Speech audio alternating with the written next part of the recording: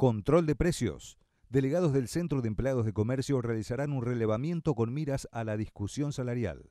Sí, hoy ya estamos en los primeros días de los meses como hacemos habitualmente el relevamiento. La idea es de que estos precios no solamente verificar lo que es precio cuidado, sino sacar ya el último aumento del mes de marzo a los efectos de tratar de utilizarlo en la discusión paritaria, que es lo que más nos preocupa y que es el trabajo que venimos haciendo. Y lo que vamos a hacer en este mes es agregar lo que hicimos ya el mes pasado, también incorporar precios de construcción, seguimiento de precio de construcción, cosa de también tener un parámetro equitativo de lo que cuesta en Tierra del Fuego construir y las variables de, aumentos que hubo, y con esta información obviamente volcarlo en paritarias.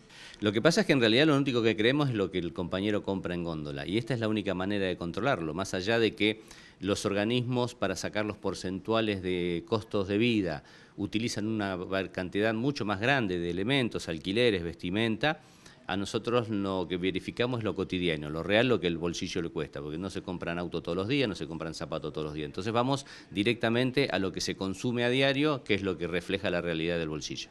¿Y ahora las expectativas están centradas en la, negociación paritaria? Justamente este relevamiento va a ser uno de los más importantes, porque nosotros supuestamente en mayo ya estamos discutiendo paritaria. Más allá de que se corre el rumor de que hay números tirados, este, la realidad nos marca que la paritaria local la vamos a discutir en mayo, y en virtud de eso es que necesitamos todos los números que diga la calle.